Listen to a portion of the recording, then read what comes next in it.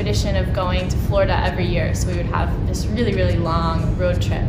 And um, when we were on the road, we had our family song, which was "I've been working on the railroad." So we would sing "I've been working on the railroad" as a family, and there was this one note right at the end, and we would hold it out, and we had a competition to see who could hold the note out the longest. And when I was younger, my dad would always win. And then as I got older and I started to do music with school and um, work on my breath support, I guess is the technical way to say it, um, I started to be able to beat him. And I remember being so, so proud of that. So I think that's probably one of the first memories I have of, of singing and, and being involved in the arts. Sure. Um, well, I started taking private lessons when I was in the fourth grade. Um, I went to a private school, so they didn't have um, private lessons ingrained in my school like a lot of public schools do, where you can just learn music um, as one of your periods throughout the day. So I started doing private trumpet lessons in the fourth grade. So that way when I joined in seventh grade, I would kind of be on the same level as a lot of the other students who were in the band.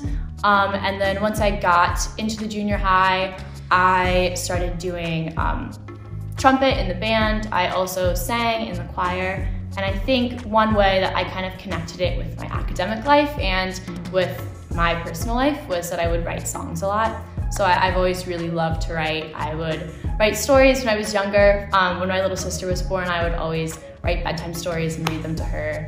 Um, and I think writing songs was a cool way to kind of connect all these different areas of my life. And thinking back on it, they're all under the realm of the arts, but um, it was just so fun to kind of write a song about my mac and cheese as I was eating it, or um, you know, write a song about that boy that I really liked, but he didn't like me back. Uh, so I think from a young age, that was something that I always could kind of use as an outlet for whatever emotions I was feeling. And I think throughout my time in school, that was always a really cool and fun opportunity for me to just sit down and whatever emotion I was feeling, I could write a poem about it or just write it on a sticky note, never to be found again. But I think that was always something that kind of connected the arts with my own life and gave me purpose in that way.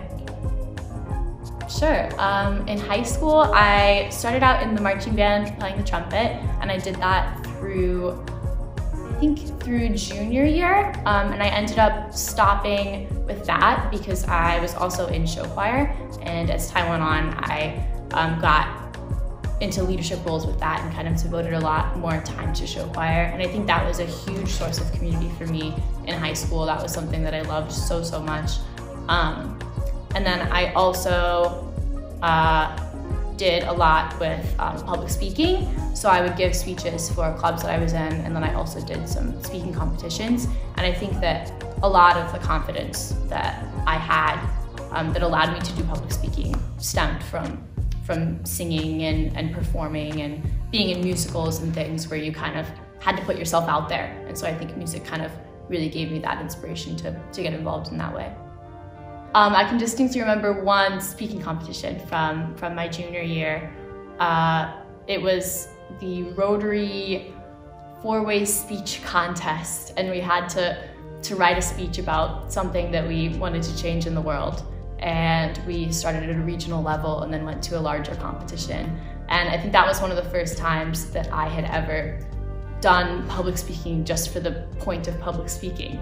Um, and I, I, I remember only getting involved in it because there was a $200 prize at the end and I really wanted a new pair of shoes. But it was a fun opportunity to, to kind of dip my toe in that, in that pool and to be excited by the fear of it, you know? So it, it was scary. I mean, public speaking is scary, especially once you got to larger levels and you were speaking in front of large groups of people. But I think that that's something that really gave me a unique perspective and unique experiences so that when I graduated and had to give a speech in front of you know, the entire hundreds and hundreds of people in the, in the audience, um, I was ready for that. I had to give a speech because I was the co-valedictorian.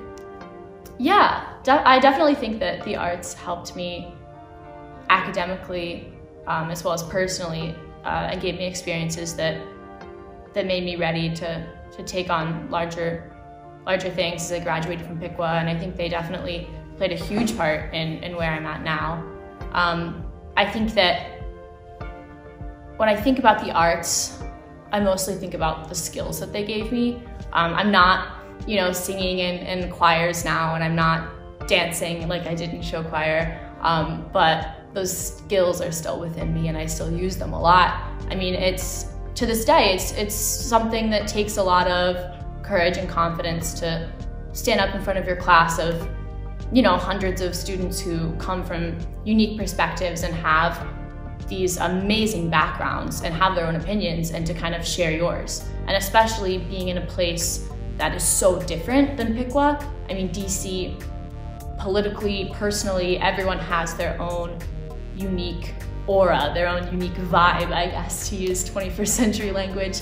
Um, and it's so different than Piqua. So I have a lot of opportunities to kind of offer different perspectives and to come from a different place and bring different ideas uh, to the table and it's scary to have to stand up and, and present those but at the same time I think that the skills that I have to be able to do that definitely come from my musical background and from the background I have in all different forms of the arts.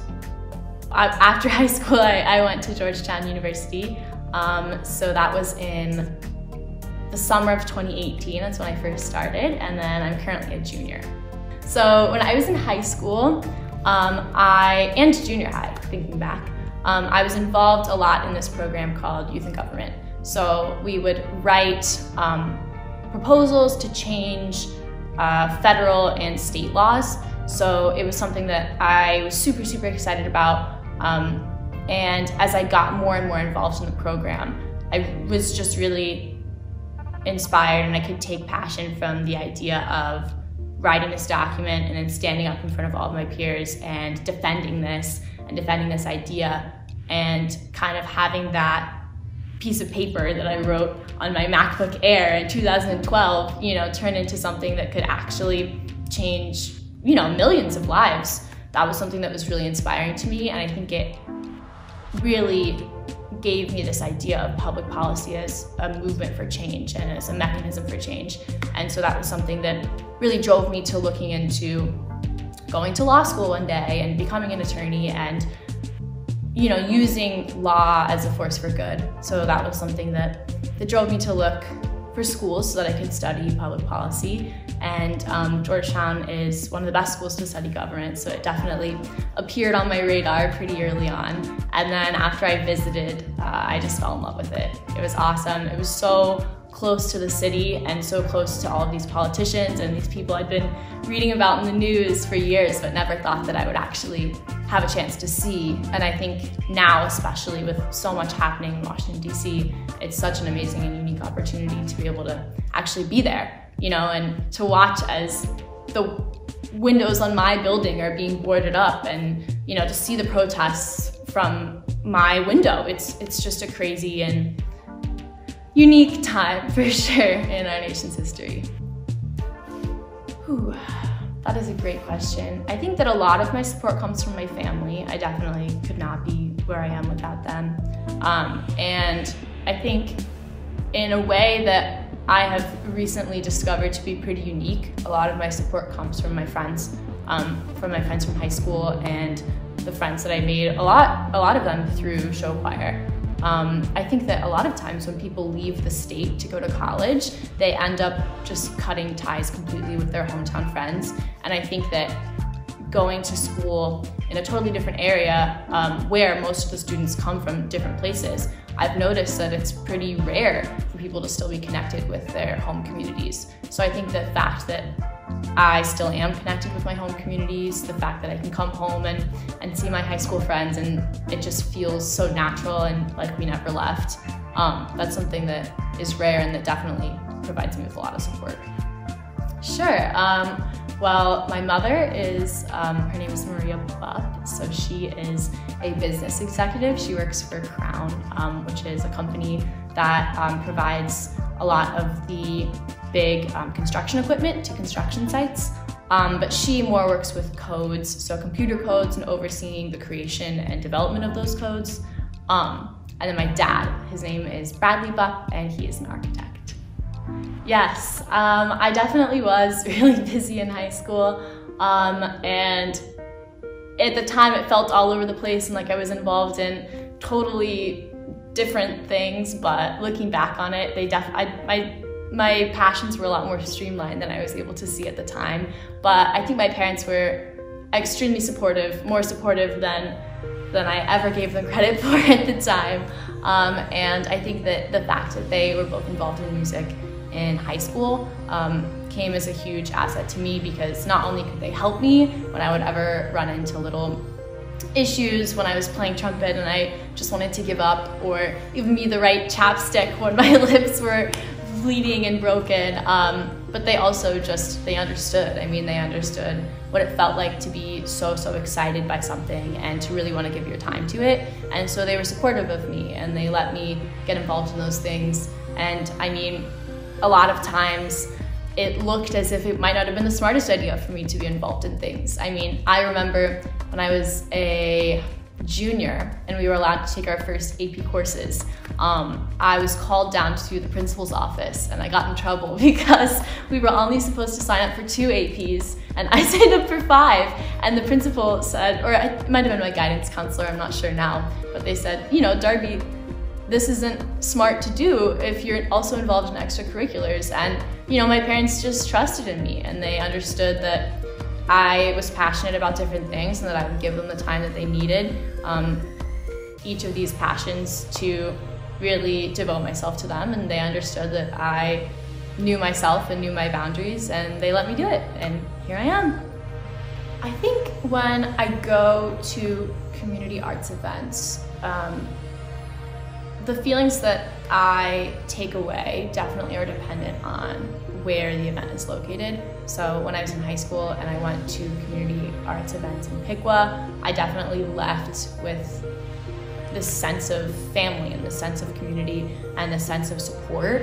Um, I remember going to things in high school and we would have a show choir competition, for example, or some sort of performance at the high school. And afterwards, it was just this understood tradition where you would walk outside of the stage and just in the hallway, all of the families would be lined up with flowers um, and they'd want to take pictures with you and everyone would run up and give you a hug, which seems very strange and foreign in coronavirus times, but um, but yeah, it was just this huge wave of support, like this physical force that you would feel of a hundred people running at you to to tell you they loved what you did and they thought that your facials were better than last time and you know they would they would remember you and you know they were your family. Even if they were a family member of someone else who you barely really knew they were always there every step along the way to support you. And i think um, it's a little bit different in dc not in a bad way, just in a, in a different way. I think it's less of a sense of community, but more of a sense of opportunity. Um, I think as my area grew, um, my community expanded from, you know, 22,000 people, I think is the population of Piqua, something around there, uh, to, you know, thousands and thousands of people and this huge space that is constantly changing. But at the same time, there still is a sense of community, um, and it's kind of the people that I would come to the concert with. I mean, I remember going to a Panic at the Disco concert. That was my first outing of freshman year.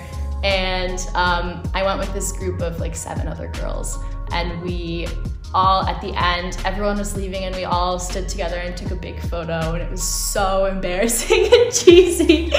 But you know, that was a sense of community right there. And at the same time, watching this concert with thousands of people and seeing that everyone was coming from their own distinct lives and it just filled me with a sense of opportunity and this sense of wow my future could be anything i want it to be you know i could in my lifetime, I could never meet every single person in this stadium, but I could try my, my darndest, you know, and I could try my darndest to be as successful as I want to be. And I think when you go to things like that and you see one person or a hundred people kind of performing and showing a piece of themselves they've been working on, it's really inspiring because it shows that there's nothing holding you back from devoting yourself to yourself and to something that you're passionate about. So I think that's a huge takeaway that I always have going to community arts events.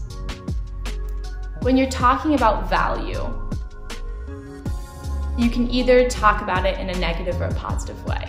So if something has positive value, then it's creating something that is of use. And if something has value that can be seen as negative, then it's, you know, I would be lesser than I am now if I didn't have that thing. And I think for my life, I could definitely see the arts as having both positive and negative value um, because you know, I can see the positive value that they gave me, and then I could also say I wouldn't be who I am without the arts. But that's not true for everyone. There are some people who never became involved in the arts, and so that wouldn't be a true statement for them. So I think instead, I would say the arts provide a huge deal of positive value, um, and they might not have negative value for everyone, but I know that for me, the arts kind of instilled within me this sense of creativity. Um, and I think creativity is an essential building block to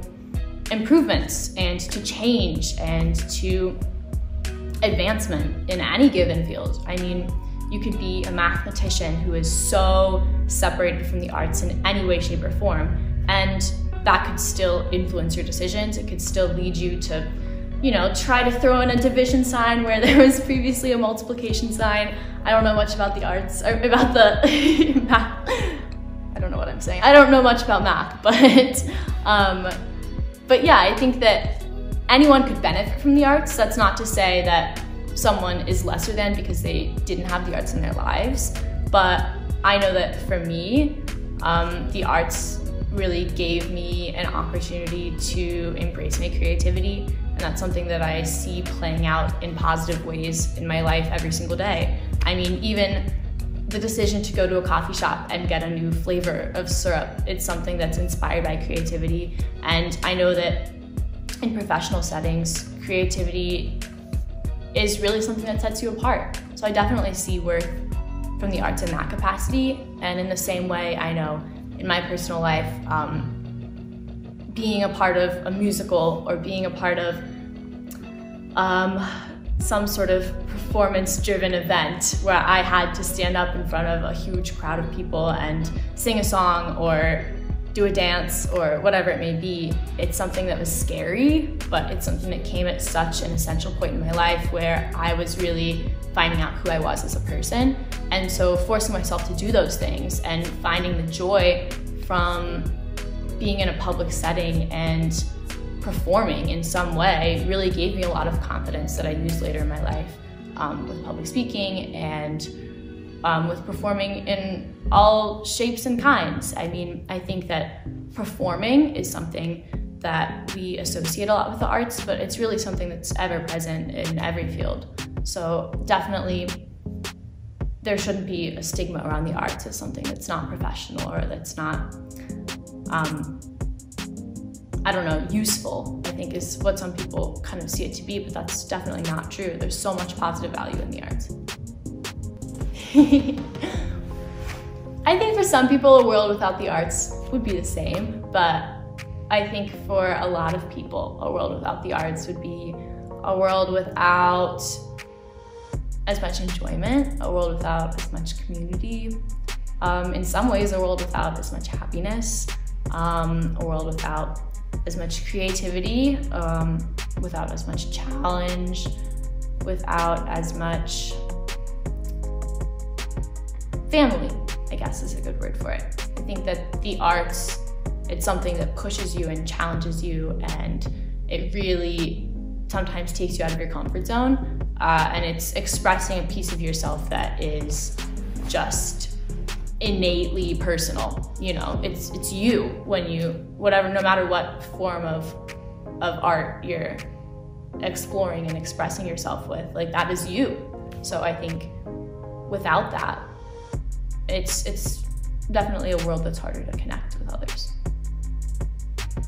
I definitely think that the arts encourage me to take risks. I think sometimes they forced me to take risks. I mean, I definitely think there were some times when I was in high school and I was terrified of going out and doing something and embarrassing myself, but you know, that push is definitely what I needed to succeed in that way. And it definitely encouraged me later on in my life to give myself that push, you know, and to, to really look at my life and think, what is the thing that challenges me the most, but that will give me the best result afterwards?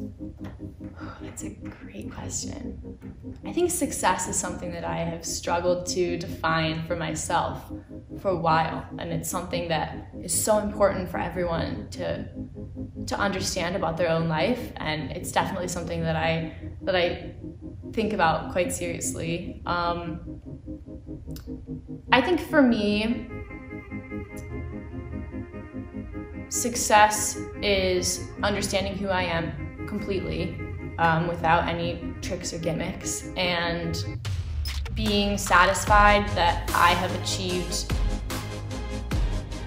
the best that I possibly can and that I haven't sacrificed any anything for out of out of fear or out of nervousness or or lack of, of effort um, or procrastination. That's a big one for me. um, so I think putting it in more specific terms, uh, I definitely see myself going to law school. Um, I've always really wanted to study constitutional law, but I think since coming to Georgetown, I've been really interested in educational inequalities. So that's definitely something that I would consider studying. Um, and I think something that's always been really, really important to me is that I've always really wanted to finish a novel. Um, I think I've always kind of said, oh, well, if I ever want to go into a career in politics, then oh, I, I, can't write a novel, I can't publish a novel because then you know that's that's my identity, and then that could change how people see me. And oh, I, there's no need to write a novel because one day I'll have kids and then they can read this strange novel their mother wrote about tomato soup. I, I don't know what my novel would be about, but um, you know, I, have constantly come up with these excuses um, for why that's not what I would be doing. But you know, even if I don't publish it, I think it's just important. It's something that I want to do in my life that when I on my deathbed, I can say that I finished a novel.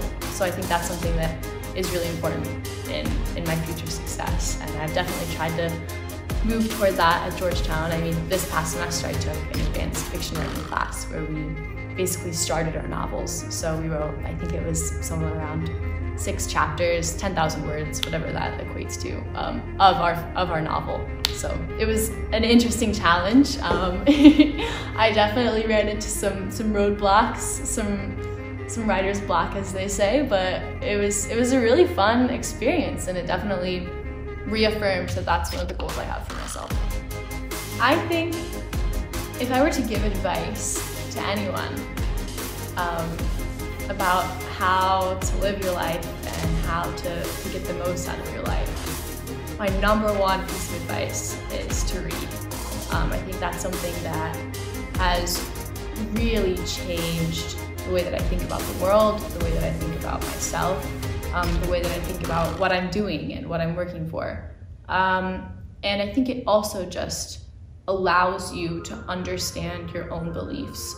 Um, and that could be reading William Shakespeare and you know um, Hemingway and all of these fantastic uh, literary masterpieces, or it could just be reading a magazine on the train to work. I mean, it doesn't have to be anything spectacular, and you're not reading for someone else. You're just reading what you enjoy um, in your own life. I mean, I know that I've read some some books that are truly ridiculously terrible, but I think that it's just so important, um, and it just creates such a different outlook that you can apply to your life, and I think it it really increases your ability to be articulate, to express yourself. Um, I know that the fact that I love writing definitely stems from the fact that I love reading.